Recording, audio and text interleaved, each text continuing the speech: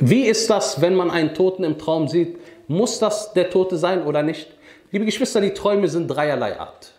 Einer von Allah, einer von Ash-Shaytan und einer vom eigenen Nafs. Deswegen, das kann manchmal eine Bedeutung haben, aber es muss keine Bedeutung haben. Wallahu ta'ala ala wa a'lam.